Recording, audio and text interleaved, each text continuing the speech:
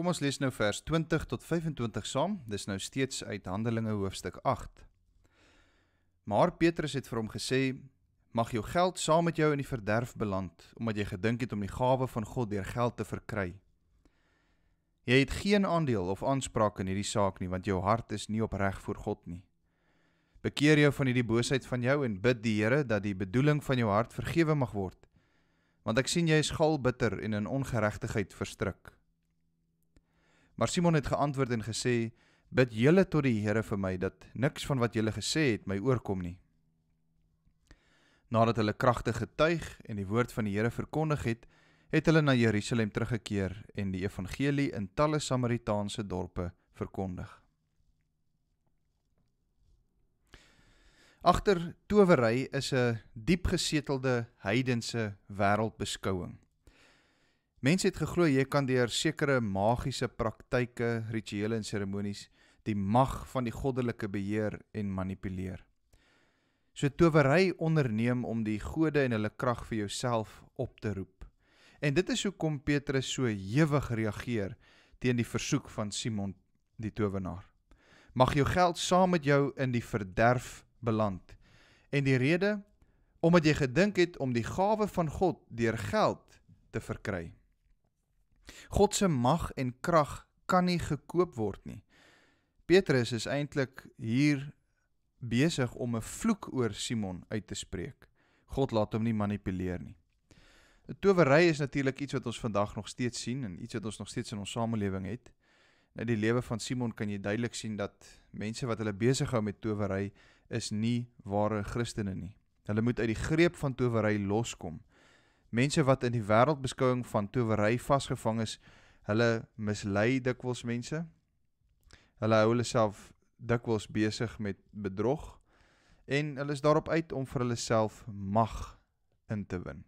Dit gaan oor hulle self, dit gaan oor hulle naam, dit gaan oor die krag wat hulle daaruit verkry. Miskien kon Simon nog vir Filippus en die ander gelowiges in Samaria om die bos lei, maar nou nie meer nie.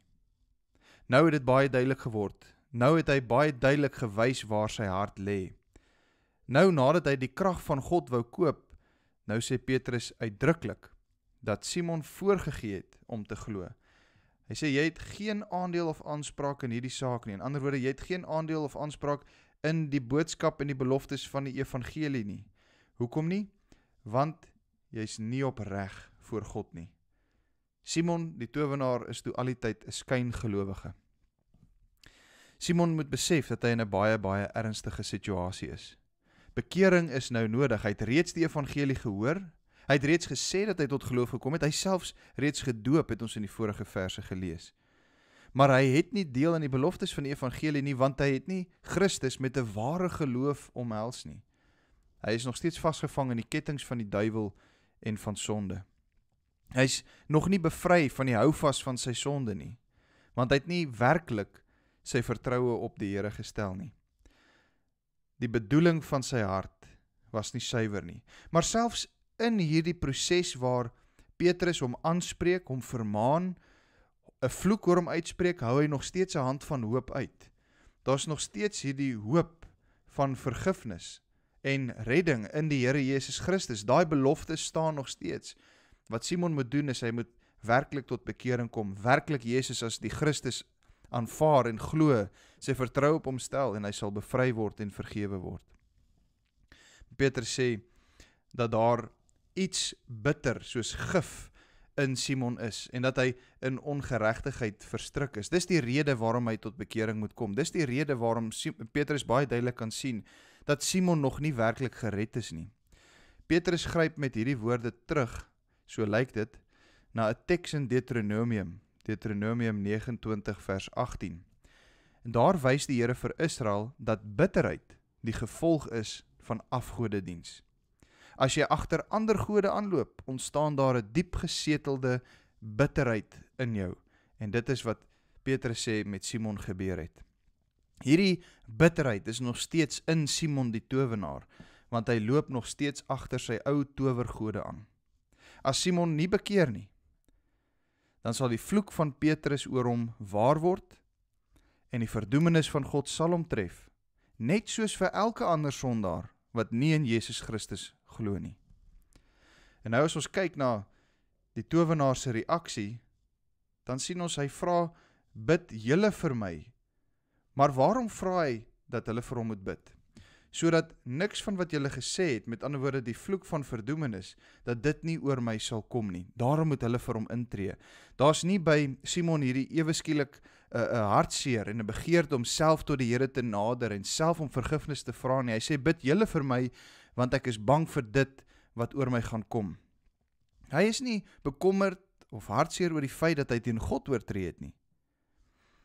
Lukas gee nou nie vir ons verdere inligting rondom Simon die towenaar nie maar is baie moontlik dat Simon toe nooit waarlik tot bekering gekom het nie. Ons sien nie hier die vrug van bekering nie. Soms is ons ook hartseer en maak beloftes van bekering omdat ons in ons sonde uitgevang is. Ons is nie hartseer omdat ons teen God gesondig het nie. Ons is hartseer want ons is uitgevang. Dit is nie 'n egte hartseer van bekering nie. Ware bekering is om hartseer te wees omdat ek teen God oortree het en die bloed van Jesus Christus geminag het. So ek en jy moet ook hier kyk na die lewe van Simon en vir ons ook vra wanneer ons tot bekering kom. Is dit 'n egte berou? Is dit egte bekering omdat ek teen God gesondig het of is dit omdat ek hartseer is dat ek nou uitgevang is? Die aanslag op die kerk lyk verskillend. In Jerusalem word die kerk deur die Jode vervolg. Hier in Samaria word die nuwe gelowiges bedreig deur Simon die towenaar en sy afgode. En tog het niks van hierdie aanslae die apostels gekeer nie. Die woord is besig om sy woord sy loop te neem. Die woord word verkondig oral daar waar die apostels gaan, die evangelie word gebring. Daar's kragtige getuienis wat plaasvind deur die getuies van die opstanding. Dit is die apostels. Hulle is steeds besig om te vertel van dit wat hulle gesien het en gehoor het en dit wat Jesus hulle geleer het. Die woord neem, neem sy loop en dit breek nou ook kragtig deur in talle ander Samaritaanse dorpe. Die Heilige Gees is aan die werk. Vader, U is lig en ons is kinders van die lig. Laat ons ook nou so in die lig lewe en ons nie besig hou met die dinge van die duister nie.